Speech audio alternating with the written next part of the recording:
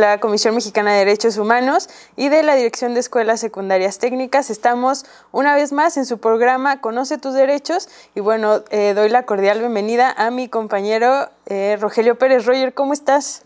Natalia, muy buenos días. Muchísimas gracias nuevamente aquí en el programa Conoce tus derechos. Ahora ya te toca presentarme. Muy bien, sí. Y bueno, pues también le mando saludos a mi compañera Mariana, que también estuvo aquí supliéndome en algunos programas. Es un gusto nuevamente estar con ustedes, chavos, y a toda la comunidad educativa de las escuelas secundarias técnicas aquí en la Ciudad de México, porque bueno, este, les recuerdo, es su programa.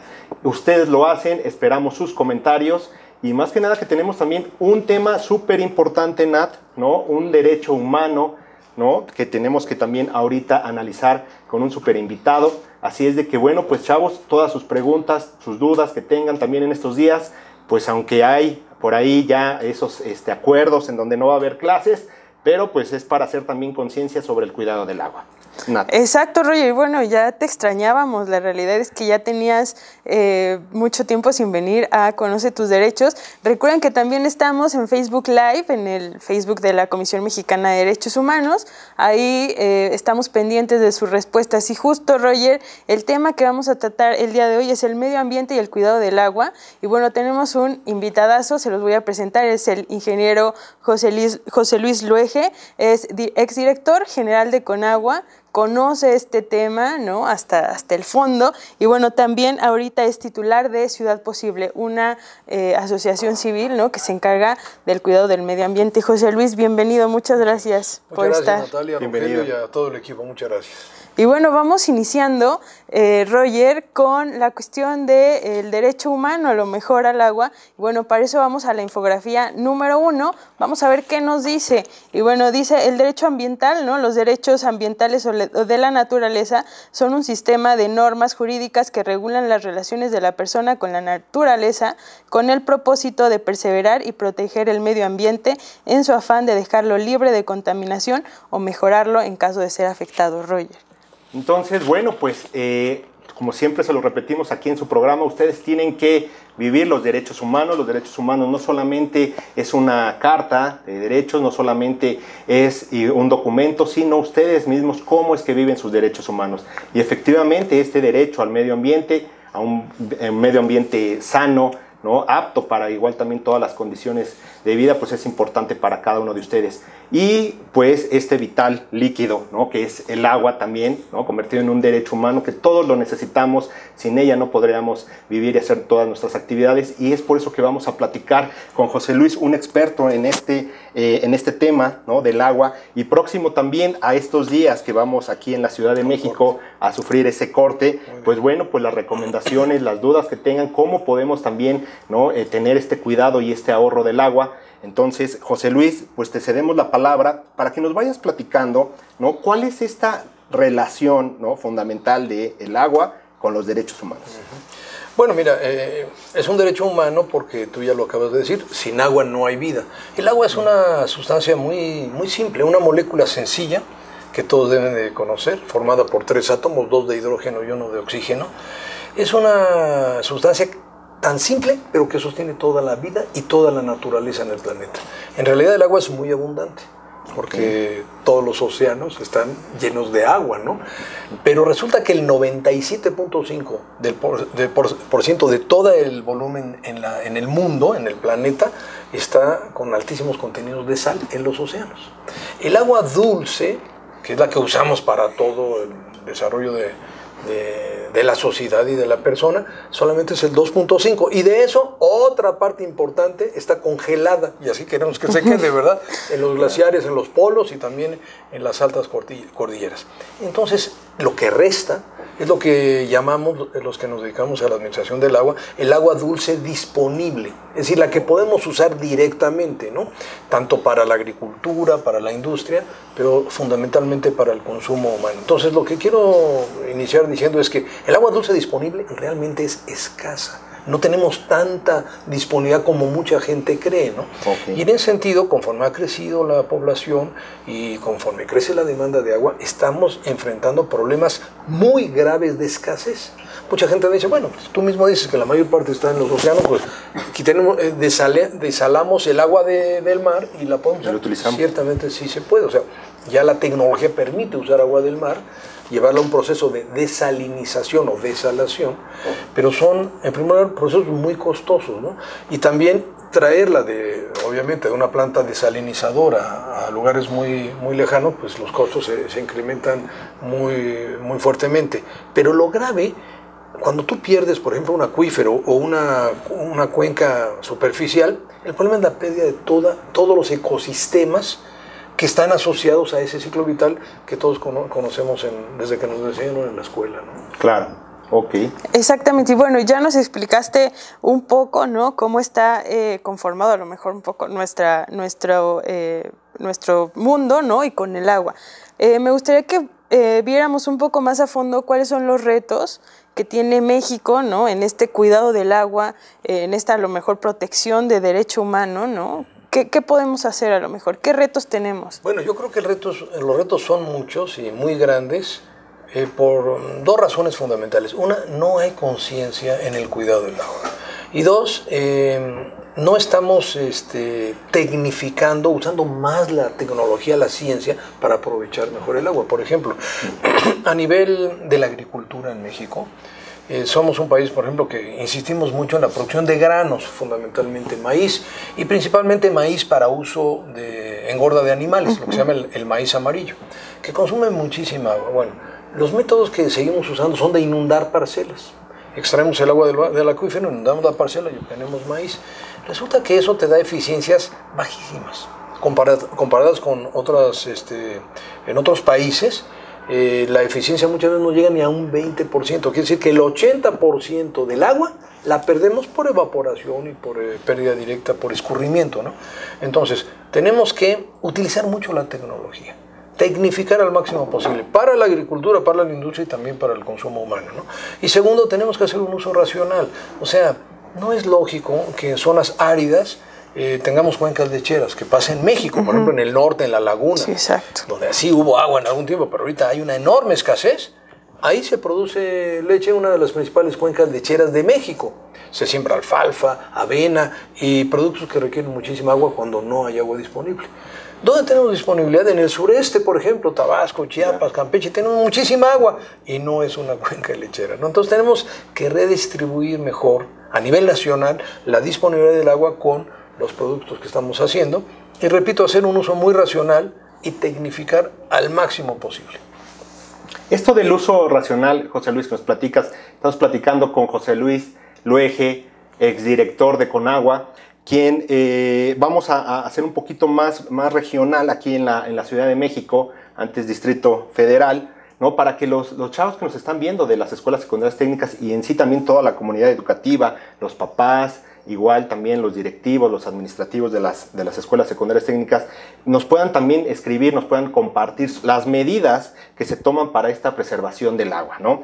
Eh, eh, compártenos un poco también, este José Luis, sabemos que eh, eres este, presidente de una asociación civil de, Ciudad Posible, ¿no? ¿Y qué, qué medidas, qué, qué, campañas han, han implementado también ustedes para este cuidado del agua que puedan también este, ellos adoptar ¿no? en sus escuelas, este, escuelas técnicas y así hacer, hacerse partícipes de este cuidado del agua. Bueno, déjenme brevemente decirles un poquito porque a eso es a lo que más me he dedicado, hablar un poquito del Valle de México, ¿no? donde está la zona metropolitana, la gran ciudad de México donde vivimos. ¿no?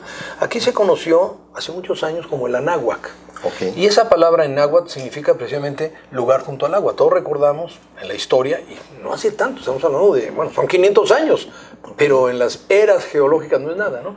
Eh, estaba cubierto de agua, era una zona de lagos, una zona lacustre que se llama. ¿Por qué? Por la condición de que era una cuenca cerrada, el tipo de suelo que es impermeable, arcilloso, y también por la cantidad de lluvia que tenemos. Bueno, de eso no quedó nada, no dejamos absolutamente una gota, eso es un error.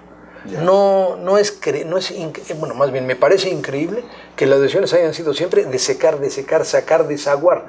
Originalmente fue, bueno, desde la fundación de Tenochtitlan y luego la, la conquista, la colonia, la idea de evitar inundaciones, pero perfectamente se pudo eh, haber controlado el nivel de inundaciones y mantener espacios presentes para regular las inundaciones, lo que era Chalco, Texcoco, Xochimilco.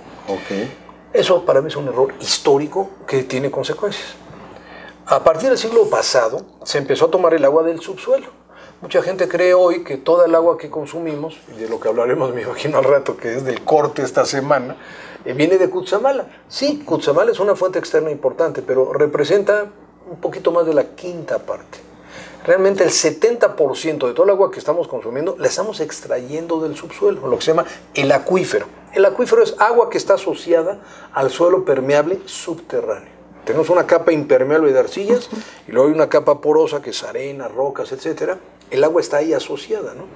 Ok. Déjenme decirle que no hace tanto tiempo tú hacías un, un, huequito en el suelo y ahí estaba el agua. Es decir, el nivel del acuífero era muy alto, ¿no? Hoy estamos extrayendo a más de 300 metros, o sea, estamos agotando el acuífero. ¿Eso implica un riesgo de, desabasto? Sí, implica un riesgo de perder el acuífero. Pero además nos estamos hundiendo. Yo siempre le pregunto a los muchachos, ¿ustedes sienten que se están hundiendo? Algunos levantan la mano y digo, no, no, no emocionalmente, físicamente. ¿Tú sientes que te estás hundiendo, eh, Natalia? sí, creo que eh, es muy este, visible, ¿no? Cuando vamos a, la catedral en el centro, ¿no? Que entramos y, bueno, vemos ya que se está hundiendo, ¿no? Eres muy observador. En realidad el, hundimiento es imperceptible, pero efectivamente hay testigos, como el Ángel de la Independencia, la catedral, todo el centro de la ciudad se ven esos hundimientos. Esos hundimientos en México son catastróficos. La gente no lo cree. Pero la velocidad de hundimiento que me tocó como director de la Conagua, hacer un, un estudio muy técnico, muy sofisticado, pero especializado, hay zonas en el oriente que se hunde anualmente entre 20 y 40 centímetros.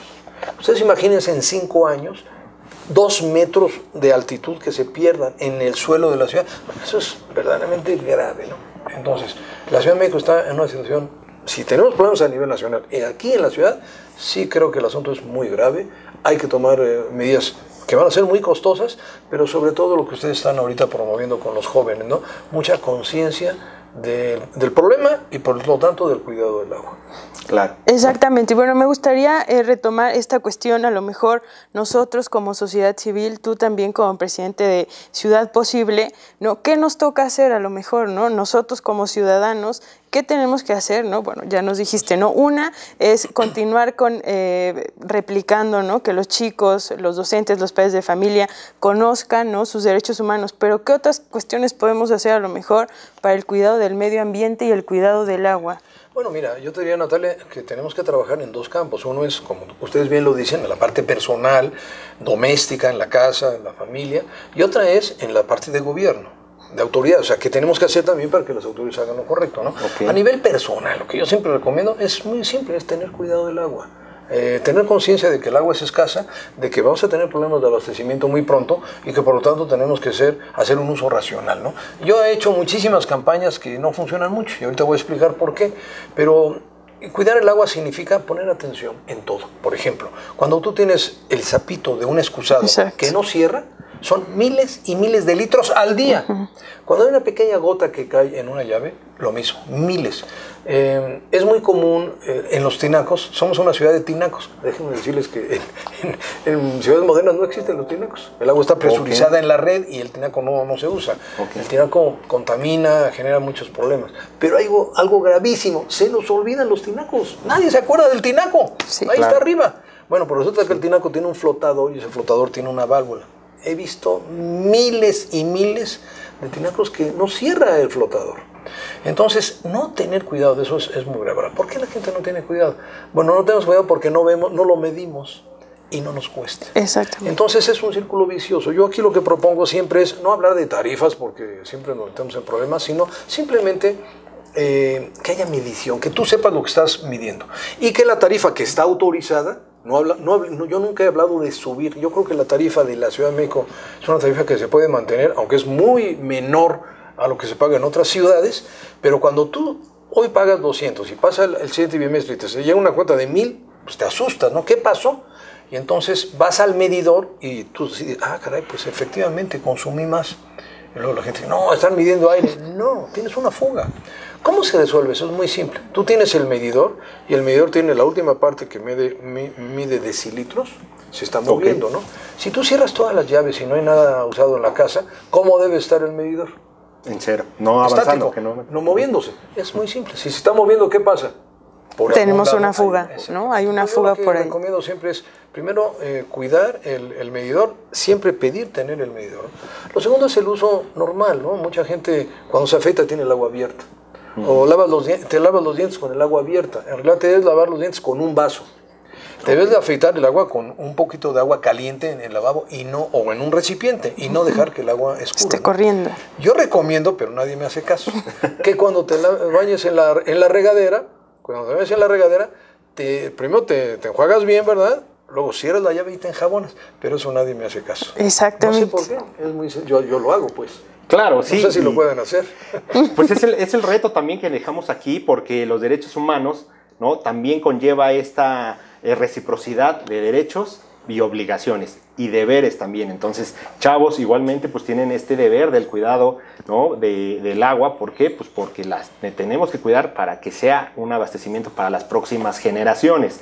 ¿Qué medidas ustedes en su escuela secundaria están tomando? ¿Ustedes cómo es que se organizan para igual también este cuidado del agua? ¿Checan, no? Igual también eh, el, baño, ¿no? Ustedes también tienen esta preocupación, que puedan también decírselo también a, sus maestros cuando hay alguna fuga o, o algún lavabo.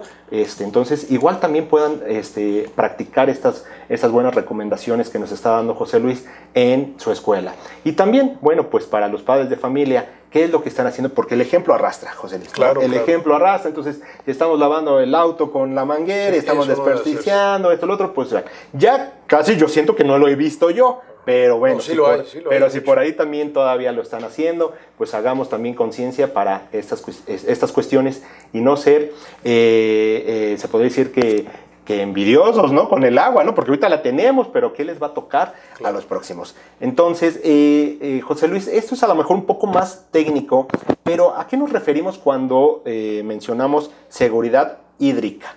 ¿Qué significa seguridad hídrica que nos puedas pues mira, seguridad hídrica está muy vinculado al concepto a sustentabilidad, ¿no? Okay. O sea, sustentabilidad, que es un, es un concepto ahora ya muy, muy usado, significa que las generaciones que vienen después de nosotros puedan tener los mismos recursos a los que nosotros tenemos acceso. Claro. Eso significa sustentabilidad o sostenibilidad, que es una palabra muy, muy parecida, ¿no?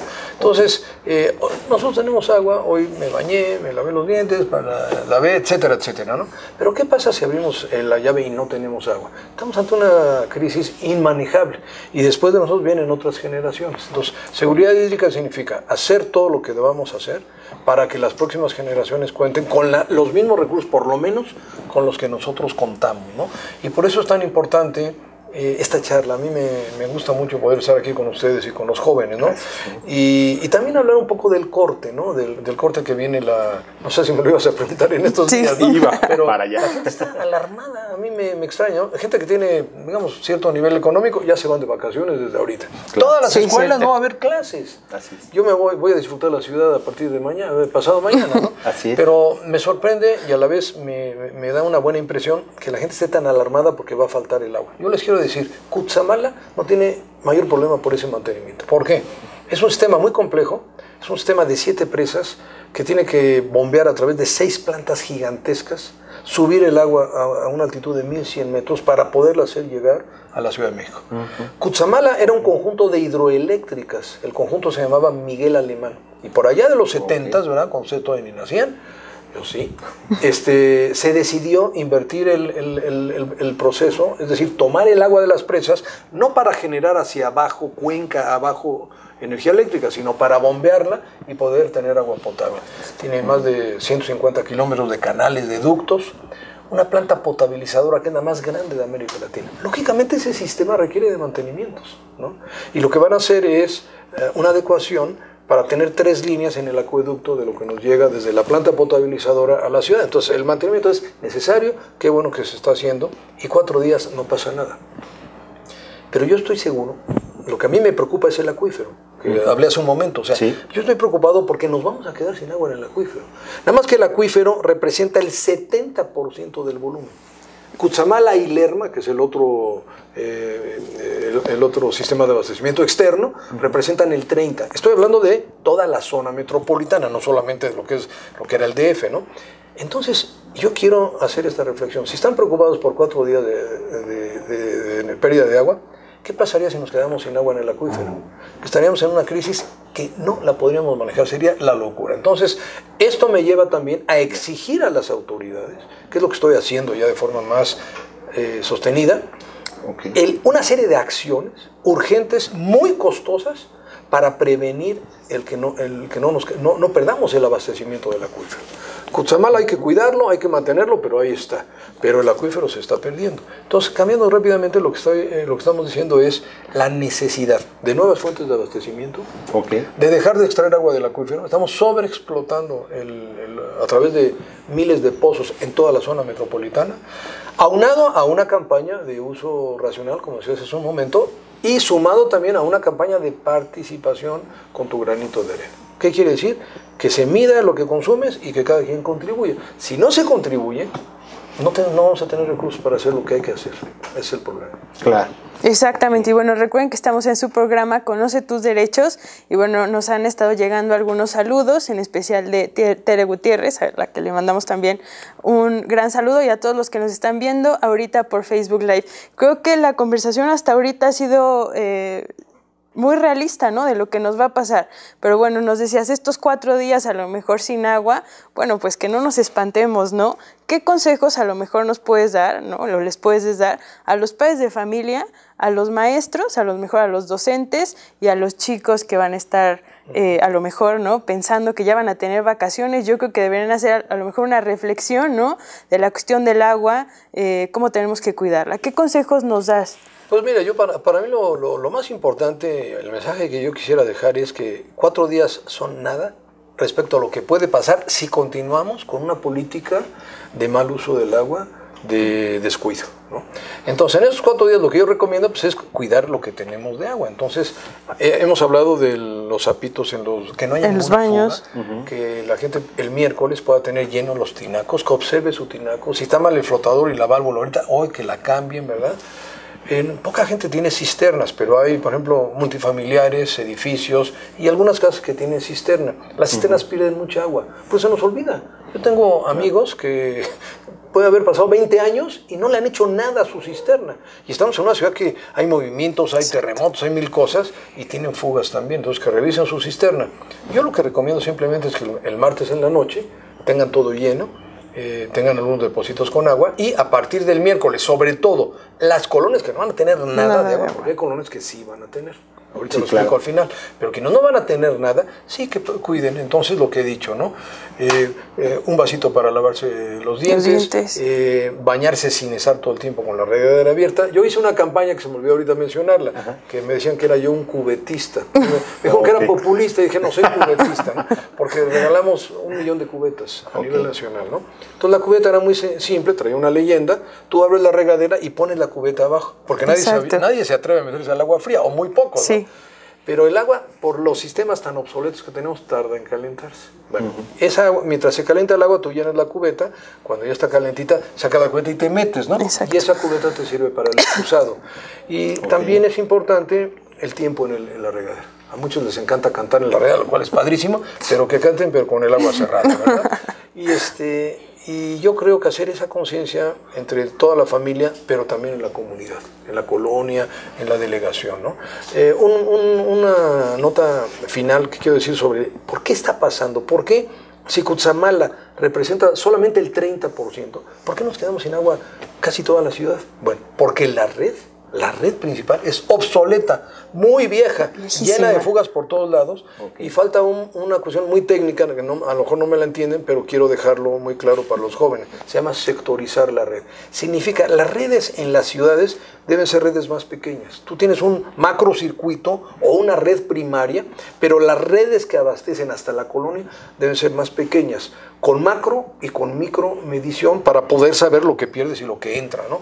Cuando tienes sectorizada la red, una red moderna, en el mundo entero, en, cualquier ciudad moderna, no te pasa lo que nos está pasando el miércoles. Es decir, si yo cierro Cutzamala, que representa solo el 30%, quiere decir que el otro 70% sigo distribuyendo. Entonces, ¿por, qué, ¿por qué estoy afectando? Bueno, estamos afectando porque la red no funciona está muy interconectada y eso no sirve para cuando hay problemas de fallas, mantenimientos y fugas, ¿no? José Luis, muy interesante el tema. Yo creo que podríamos pasar aquí bastante tiempo platicando sobre esta importancia. Tenemos que ir cerrando, ir concluyendo.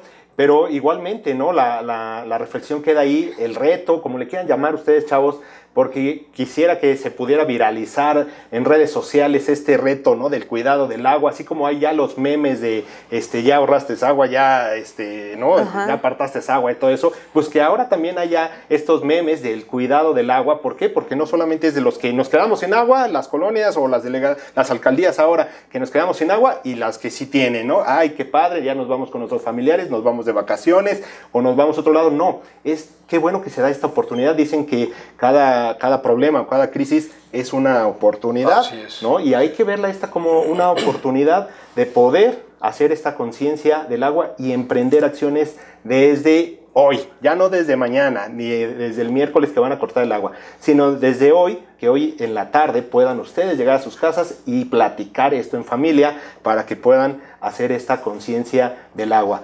Eh, vamos a ir cerrando, Nat, pero yo quisiera este, preguntarle a José Luis, José Luis eh, si alguien se quiere eh, acercar a Ciudad Posible, si alguien quiere participar, ¿hay alguna manera, este, contactos que quieras compartirnos, redes sociales? Sí, tenemos, yo manejo Twitter básicamente, que es JL mayúscula guion bajo Luege, arroba Luege, ¿no? Y tenemos una página que no la tengo muy bien actualizada, que es www.ciudadposible.org. Este, y desde luego, eh, en lo que podamos a través de, ustedes, eh, con todo gusto cuenten, conmigo. ¿no? Eh, me faltaba un tema que, aunque es muy técnico, me gustaría mencionarlo. Adelante. Que es la eficiencia de los organismos operadores. ¿Qué son los organismos operadores? Son los que administran el agua, ¿no? A nivel municipal. Es muy importante que quede claro que el agua es un bien público, es un bien de la nación, así está en la Constitución, artículo 27, y la Comisión Nacional del Agua entrega en bloque, digamos, el agua, ¿no? Y por eso se cobra un derecho. Pero ya las ciudades, los municipios tienen organismos operadores. En la Ciudad de México es el Sistema de Aguas de la Ciudad de México. En el Estado de México es la Comisión Estatal de Agua, pero también hay organismos municipales. Tenemos muy baja eficiencia. ¿Qué quiere decir? Se pierde el agua en fugas, no se trata el agua, no hay, no, no hay una buena medición, casi la cobranza también es un fracaso. ¿no? Eh, tú mencionaste algo que, que fue muy importante o sea, que estos cuatro días nos sirvan de reflexión, que la carencia de agua nos sirva para decir, cuidado con lo que viene, ¿no? Monterrey tuvo una crisis por ahí de los 80 gravísima. Se quedaron sin agua mucho tiempo. Y de ahí surgió un programa que llevó al organismo operador de Monterrey, que se llama Agua y Drenaje Monterrey, a ser el más eficiente de México, con una eficiencia del 70%. La eficiencia es muy simple. Ah, eficiencia física, lo que pierdes de agua en la red, contra eficiencia administrativa, lo que no mides y no cobras. Y esos dos factores se multiplican, ¿no? Si tú pierdes el 40%, tienes una eficiencia de 0.6, ¿no? Y si no cobras la mitad, tienes una eficiencia de 0.5. 0.5 por 0.6 te da 0.3. Bueno, Así es. Eh, Monterrey tiene 70%, 0.7. La Ciudad de México tiene 0.2. 20%. Y eso es lo que no puede ser. O sea, la capital de la República, la ciudad más importante del país, tiene una eficiencia bajísima.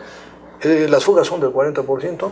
No tratamos ni el 6% de las aguas residuales. No se recicla el agua, el agua tratada porque no hay agua tratada. Eh, no se cobra la mitad, no se mide la mitad de las tomas domiciliarias, que son 1.600.000. Y de las que se miden, la mayor parte también están mal. Nos estamos muy mal administrativamente en los organismos operadores. Entonces el llamado que estamos haciendo también es a poner orden en los organismos municipales a nivel nacional y en el caso de la Ciudad de México el sistema de aguas. Exactamente, pues creo que ahí están viendo que es tarea para todos, ¿no? Empezar nosotros eh, desde nuestra casa, nuestra escuela, con nuestro granito de arena, empezar a revisar eh, nuestros baños, nuestras cisternas, nuestros tinacos, ver cuánta agua estamos gastando en lavarnos los dientes a lo mejor, ¿no? Que dejamos la llave abierta y bueno, ahí el agua corriendo. Hay que eh, lavarse bien los Hay que lavarse bien los dientes, pero no gastando tanta, agua. Roger, ¿algo más? Nada, pues tenemos que ir cerrando. Ya nada más hay que invitar a nuestros amigos. Igualmente ya está cordialmente invitado José Luis a nuestro próximo evento que es el 16 de noviembre. Muy bien. NAT es el foro de eh, cómo afecta la corrupción a los derechos humanos. Entonces, bueno, pues ahí están en nuestras redes sociales, nos las puedes repetir, Nat. Exacto, es Facebook, eh, Diagonal Comisión Mexicana de DH, Twitter, arroba ComexDH y nuestro Instagram, Comisión Mexicana DH.